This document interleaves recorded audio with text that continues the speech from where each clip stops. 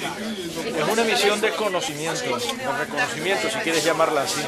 de hechos que han tenido lugar aquí en Rosario, pero que son ejemplificativos de un problema que recorre toda Europa. Un problema que tiene que ver con que tiene que ver con su social, con el respeto de los derechos de las personas, y con los eh, conflictos que pueden suscitarse y el equilibrio no se observa de manera exacta y preciosa.